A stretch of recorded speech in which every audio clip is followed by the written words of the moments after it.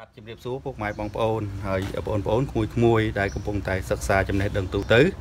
ហើយថ្ងៃនេះខ្ញុំបាទមានចំណេះដឹងមួយទៀតតាក់ទងទៅនឹងការចែកលេខបាទថាតើការចែកលេខដោយរបៀបណាទៅយើងចេះចែកហើយពិនិត្យឃើញថាបងប្អូនក្មួយក្មួយជាច្រើនគាត់នៅខ្សោយផ្នែកគណិតវិទ្យាជាច្រើនបាទរហូតដល់ថ្នាក់ទី11 12អីក៏អត់ទាន់ចេះចែកលេខដែរបងប្អូនខ្លះ អញ្ចឹងកុំឲ្យពុកម៉ែបងប្អូនមួយមួយបងប្អូនតាមដានយូរឥឡូវសូមអញ្ជើញតាមទស្សនាទាំងអស់គ្នាខ្ញុំបាទនឹងបង្ហាញអំពីការចែកលេខបាទមួយខ្ទង់ឧទាហរណ៍ថា844ចែកឲ្យ4បាទ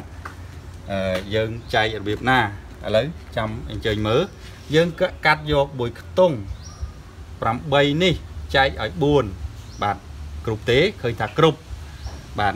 8ចែកឲ្យ4យើងបាន4នេះប្រមាណដងទៅស្មើនឹង8បាទ4ហ្នឹង2ដងយើងដាក់2 4 2ដង8យើងយកមកដាក់ខាងក្រោមលេខដែលយើងកាត់ខ្ទង់មក8ដក8 0ទម្លាក់4ដើម្បីចែកបន្ត4អឺទម្លាក់4 4នេះចែកឲ្យ4គឺបាន1 1 4ដង4សរសេរខាងក្រោមលេខនឹងមកដក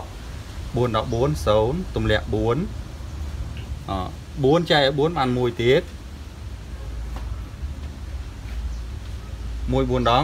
4យកមកដាក់ខាងក្រោមលេខ4មក4ដល់4 0បាទអញ្ចឹងយើងធ្វើការបញ្ជាក់ថាតើលេខនេះពិតជាត្រឹមត្រូវហើយឬនៅ បាទសូមអញ្ជើញតាមដានទស្សនាមុនដំបូងយើងយកតួចែក4រួចហើយបូកផលចែក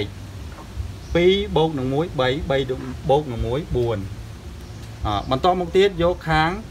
តំណាងចែក8បូកនឹង4 12 12បូកនឹង4 16 16យើងសរសេរលេខ16សិន1បូកនឹង6 7បាទបន្តមកទៀតគឺយើងគុណពីលើចុះក្រោមក៏បានពីក្រោមទៅលើក៏បានដែរត្រូវដូចគ្នាទេ4 4ដង10 16សរសេរលេខ16 ដូចគ្នា1បូកនឹង6 7បាទឃើញថាលទ្ធផល គឺពិតជាត្រឹមត្រូវហើយបាទអរគុណពុកម៉ែបងប្អូនដែលតាមដានទស្សនាហើយកុំភ្លេចចុច like ចុច subscribe ហើយចែករំលែកតតគ្នាផងដើម្បីជាចំណេះដឹងបាទហើយបន្តមកទៀតខ្ញុំបាទបាននឹងបង្ហាញបាទនឹងបង្ហាញអឺមួយទៀត ការចែកលេខពីខ្ទង់តែម្ដង បាទនេះការចែកលេខតែមួយខ្ទង់ទេវិធីចែកលេខតែមួយខ្ទង់ទេហើយមួយទៀតគឺខ្ញុំបាទបង្ហាញការចែកលេខពីខ្ទង់ឧទាហរណ៍ថា963បាទ963ចែកឲ្យ15បាទចែកឲ្យ15ហើយតើ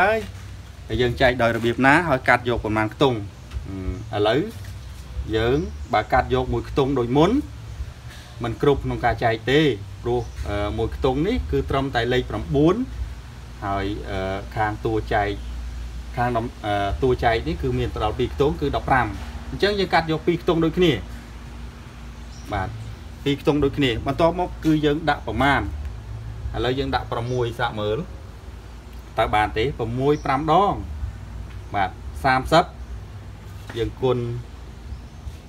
6នេះទៅលេខ5សិន6 5ដង30សរសេរលេខ0ត្រាទុក3 6ម្ដង6 6នឹង3 9បាទឃើញថាអាចដកស៊ីសងគ្នាបានហើយប៉ណ្ណឹង6ដក0នៅសល់6ដដែល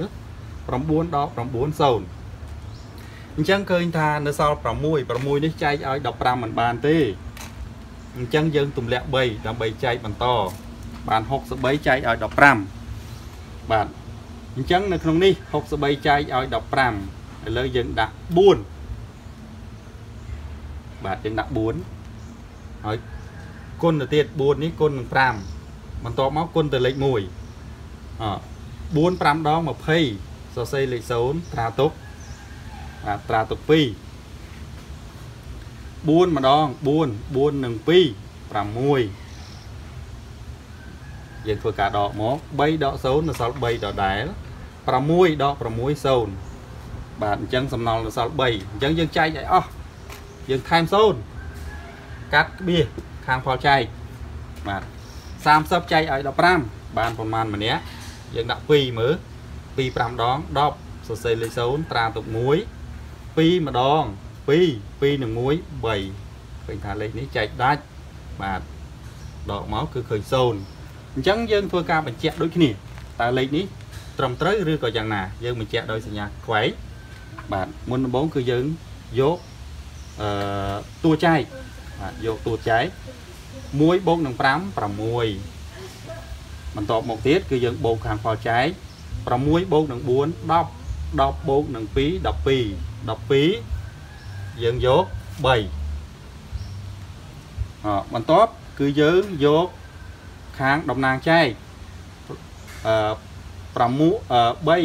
បូកនឹង6 9 9បូកនឹង9 18យើងសរសេរ18សិនមក8បូកនឹង1 9យើងសរសេរខាងស្ដាំបាទបន្តមកទៀតគឺយើងគុណពីលើចុះក្រោមក៏បានពីក្រោមឡើងលើក៏បានដែរ6 3ដង18 18 1បូកនឹង8 9បាទលេខនេះពិតជាត្រឹមត្រូវហើយ អរគុណពុកម៉ែបងប្អូន បាទហើយកុំភ្លេចចុច Subscribe ចុច Like ចុច Comment ហើយនឹង